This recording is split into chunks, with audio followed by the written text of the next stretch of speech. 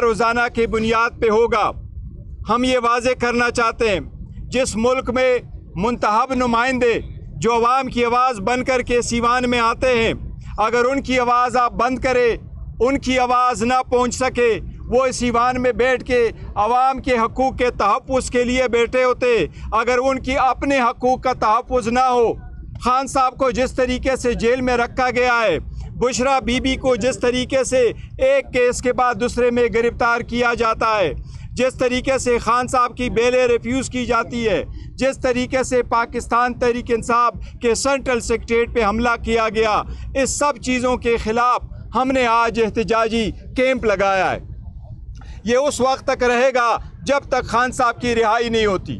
اس رہائی کے لیے اصلاح قانونیت کے خاتمے کے لیے قانون کی بالادستی کے لیے انشاءاللہ ہمارا احتجاج پارلیمان کے اندر، پارلیمان کے باہر اور اس احتجاجی کیم کے ذریعے سے انشاءاللہ کنٹینیو کرے گا اور جاری رہے گا۔ انشاءاللہ تعالی۔ عمر ایوب صاحب۔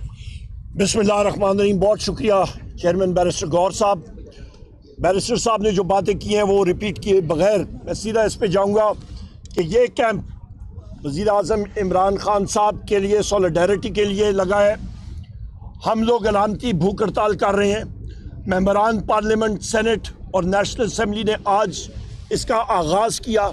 اس سخت گرمی اور حبس میں اور ہم لوگ اس کو چلاتے رہیں گے۔ جس وقت وزیر اعظم عمران خان صاحب سے ہماری میٹنگ تھی اڈیالہ جیل میں، تو انہوں نے کہا، میں بھوک ہڑتال خود کروں گا۔ ان کو ہم نے ہاتھ جوڑ کے کہا، ہم نے کہا، سر، آپ نہ کیجیے گا، جب تک ہم زندہ ہیں، ہم لوگ شروع کریں گے اور پورے پاکستان میں کریں گے۔ پارلیمنٹ سے شروع کیا اور جس وقت وزیر اعظم عمران خان صاحب نے حکم دیا تو پورے پاکستان میں ہم لوگ کریں گے۔ آج کیا علامتی بھوک ہڑتال کیمپ، اس کی تین جوز ہیں۔ نمبر ایک، وزیر اعظم عمران خان صاحب، بشرا بی بی ہمارے مرد اور خواتین، اسیران، کل روف حسن صاحب اور ہمارے ٹیم کے ساتھی، لڑکے اور لڑکیاں جن کو اٹھایا گیا ہے اور ان کو حفظ بیجا میں رکھا گیا۔ اور صبح پھر پیش کیا گیا عدالت میں ان کی فل فور رہائی کے لیے۔ اس کے ساتھ ساتھ اس وقت جو ملک میں انفلیشن افراد زار کی لہر جا رہی ہے اور ایک مہنگائی کی لہر اس شدت کی ہے کہ محنت کاش کا جینا مشکل ہو چکا ہے پورے پاکستان میں۔ اس کے خلاف ہے یہ۔ اور تیسری چیز ہم لوگ چاہتے ہیں کہ ہمارے پیارے وطن پاکستان میں امن ہونا چاہیے اور ان تینوں چیزوں کا حصول اس وقت ہوگا جس وقت یہ شہباز شریف کی فارم سینتالیس کی حکومت مستعفی ہو کے آزادانہ منصفانہ انتخابات نہیں کراتے۔ ہمارے تحریک تحفظ آئین پاکستان کے پلیٹ فارم سے بھی ہم سب جماعتوں کی یہی ڈیمانڈ ہے کہ آزادانہ منصفانہ انتخابات ہو۔ کہ پاکستان کو اس کرائسس سے نکالا جائے اور کل کی D G I S P R کی پریس کانفرنس جو تھی، اس کے بارے میں کل بھی ہم نے پریس کانفرنس کی۔ یہاں پہ صرف میں یہ کہوں گا کہ D G I S P R کی وہ پریس کانفرنس نہیں تھی، اس نے اپنے آپ کو ترجمانی اس نے کی انٹیریئر منسٹر کی فائنینس منسٹر کی اور انفارمیشن منسٹر کی۔ تو D G I S P R نے خود ہی اپنے آپ کو ایک فیڈرل وزیر کے طور پہ پروموٹ کر دیا اور اور پریس کانفرنس کی۔ اور اس کی ضرورت اس لیے میرا خیال ہے پیش آئی ہے کیونکہ وہ سہارا دینا چاہ رہے ہیں فارم فورٹی سیون کی حکومت کو، جو کہ ڈوب چکی ہے۔ فارم فورٹی سیون کی حکومت میں، شہباز شریف کی حکومت میں، مریم نواز کی حکومت میں اس کشتی میں اتنا پانی آ چکا ہے کہ اس کو ابھی بچانا ناممکن ہو چکا ہے۔ عوام کی عدالت میں وہ بالکل ڈسکریڈٹ ہو چکے ہیں۔ ایک ہی طریقہ کار ہے، ایک مضبوط حکومت، وزیر اعظم عمران خان صاحب بحثیت وزیر اعظم، اور انشاءاللہ تعالیٰ پھر آپ دیکھیں کہ پاکستان کیسے ترقی کرتا ہے۔ بھائی جی بسم اللہ الرحمن الرحیم۔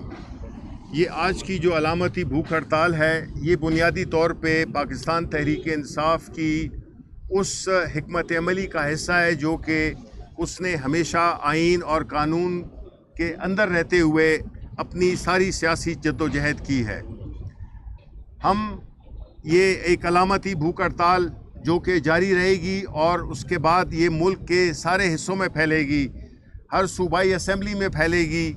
اس کا مقصد یہی ہوگا کہ ہم عوام کو اور بیرونی دنیا کو بھی یہ بتانا چاہتے ہیں کہ پاکستان میں جو فستائیت کا جو ظلم و جبر کا دور شروع ہوا ہے دو سال سے، اس میں ہمارے حرد العزیز پاکستانیوں کے حرد العزیز لیڈر عمران خان اور ان کی بیگم بشرا بی بی کو سیاسی کیسز کی بنیاد پر قید میں رکھا ہوا ہے۔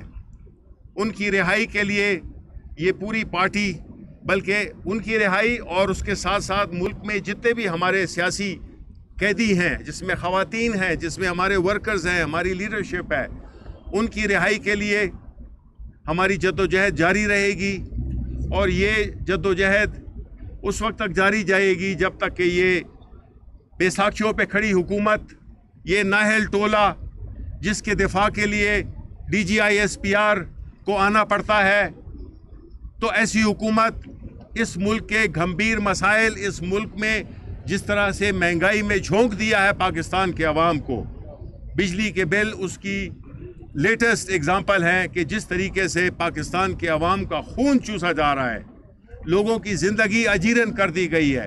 اوپر سے اس قسم کی فستائیت نے مزید ملک کو ایک ایسے ماحول میں کھڑا، لا کھڑا کیا ہے جس میں نہ تو ترقی ممکن ہے، نہ اس میں امن ممکن ہے، کیونکہ جو جو بے روزگاری بڑھے گی۔ آپ کی امن و امہ کی سچویشن خراب ہوتی جائے گی۔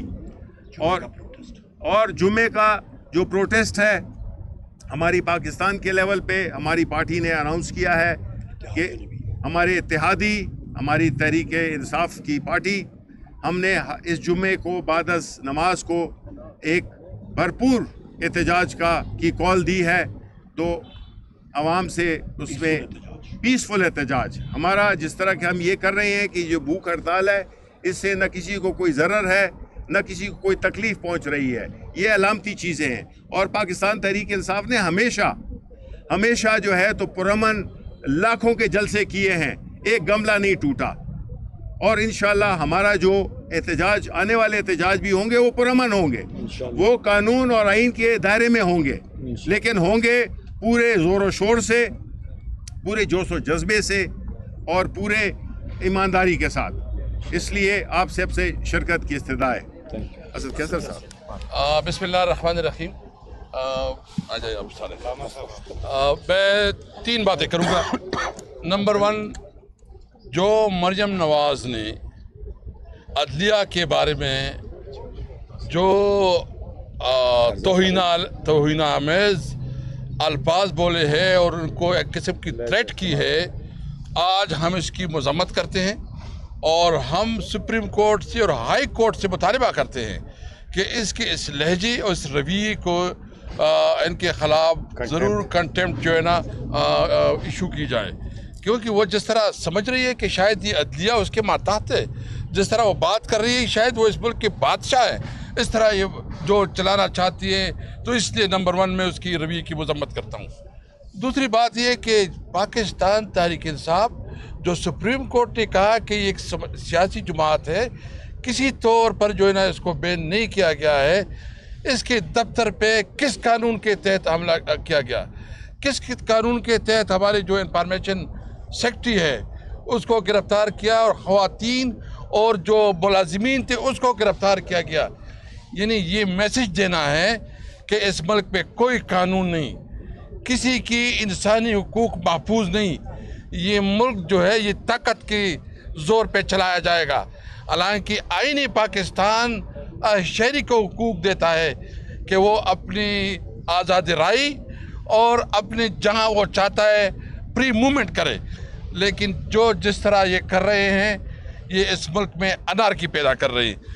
تیسری بات جو ان مہنگائی کی بات تو کی بروب صاحب نے بھی کی اور انہوں نے بھی کی ہے یعنی جو آئندہ بل آ رہے ہیں، یہ تو کسی طور پر کسی کی برداشت سے بالکل باہر ہے کہ کوئی بل پے کرے۔ جتنے زیادہ انہوں نے بل کی قیمت میں اضافہ کیا ہے اور جتنے انہوں نے ٹیکسز میں اضافہ کیا، جتنے انہوں نے پیٹرول میں اضافہ کیا، جس سے آٹا، گھی، دالیں سب کچھ بہت مہنگی ہو جائے گی۔ ہم نے یہ فیصلہ کیا ہے۔ کہ یہ اگر سمجھتے ہیں کہ ان کی دمکیوں سے، ان کی بدماشی سے کوئی دب جائے گا ایک غلط فہمی ہے۔ ہم جذباتی نہیں ہیں۔ ہم کسی طور پر جذباتی طور پر نہیں آگے بڑھیں گے۔ ہم قانون اور آئین کے اندر رہتے ہوئے اپنی جدوجہد کریں گے۔ ہم نے ابھی بھی جو کیا، سب کچھ قانون کے مطابق کیا۔ اس لیے ہمارا مطالبہ نمبر ون یہ ہے کہ یہ جعلی مینڈیٹ ہے۔ ان کے پاس، ان کے پاس مورل اتھارٹی نہیں ہے، قانونی اخلاقی پوزیشن نہیں ہے۔ ان کو ریزائن کرنا چاہیے۔ اور فریش الیکشن ہونے چاہیے۔ عمران خان کی رہائی اور ان کی بیوی اور ان کی جو ہمارے سیاسی جتنی قائدین گرفتار ہے ان کی رہائی۔ اور جو پورے ملک میں اس وقت بدمنی کی لہر دوڑ گئی ہے، انہوں نے تو صرف ہماری صوبے کو ٹارگٹ کیا ہوا ہے۔ اور ان کا خیال ہے کہ جو بنوں میں کچھ ہو رہا تھا، ان کو ہمارے گلے میں ڈال کے کوئی اور جو نہ ہمارے خلاف کوئی پروپیگنڈا کا راستہ نکالنا تھا۔ آپ سارے صحافی اس میں کافی لوگ اس علاقے سے بھی ہوں گے۔ لاکھوں کا مجمع تھا۔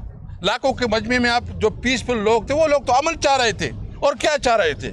اور آپ امن والے لوگوں کو بھی دہشت گرد ڈکلیئر کرے تو بہت افسوسناک ہے۔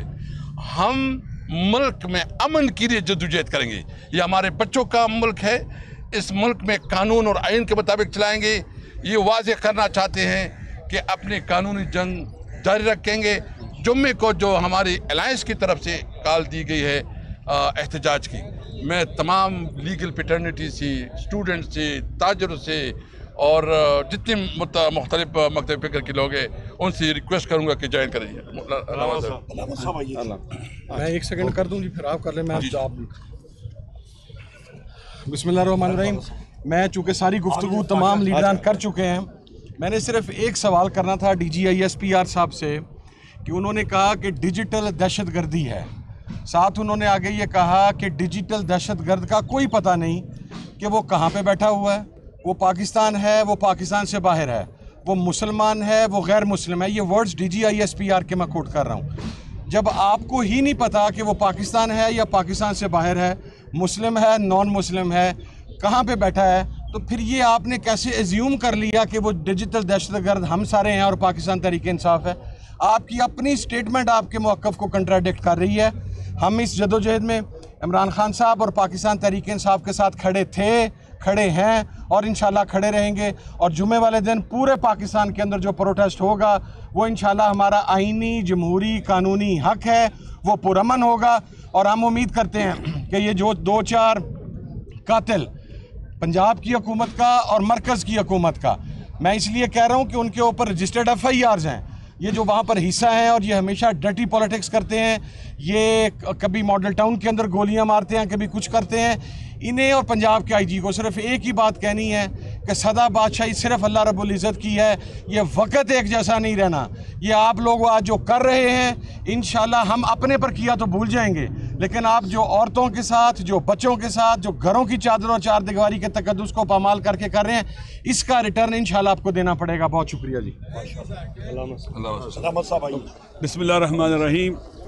جیسا کہ آپ سب نے سن لیا ہے کہ آج علامتی بک ہڑتال کا آغاز ہوا ہے۔